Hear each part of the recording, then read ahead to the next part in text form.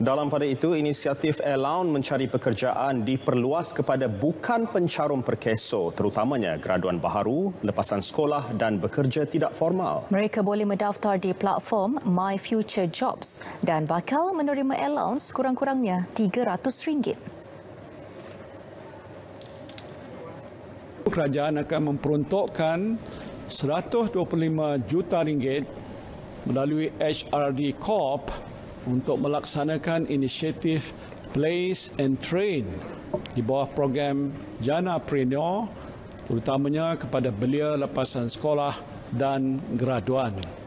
Inisiatif ini dijangka membuka peluang kepada 30,000 orang untuk mengikuti program latihan kemahiran dengan jaminan pekerjaan setelah tamat latihan.